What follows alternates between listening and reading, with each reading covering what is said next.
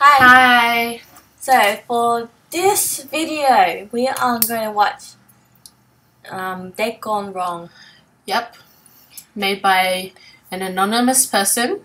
It's right there. Shh. they don't know who that is. Okay. Anyway, so we're gonna watch it. I'm the screen. Loading, loading. We're eating ice cream. It's really hot today. Yeah. And we had sport at school, so we're dying.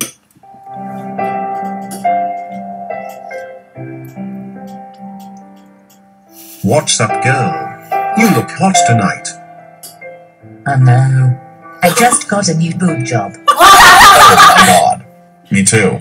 What? Extra large implants. S-H-H-H-H-H-H. Someone can hear you. They might think you're a secret agent with your suit and shit. am leaving you Oh. crazy fatherfucker. what? What the hell? I love you, bitch. Even if you have small titties. I- Can't you see that, idiot? Will you marry me although it's our first date and you're crazy as fuck? No! You gave gay pedophile.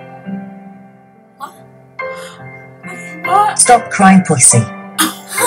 But, but, I fucking loved you. Get your brown new tits off my better new tits.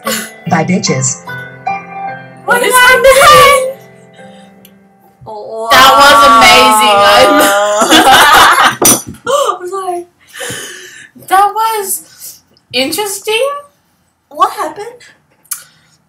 Some woman with a new boob job and a man with a boob job. I think he was undercover. Yeah. And then I, they kept saying, H H H on the what? uh, I'm, I don't know what happened during that thing, but um, overall, And that was, why a- was he lying on the ground? I don't know with a gun too.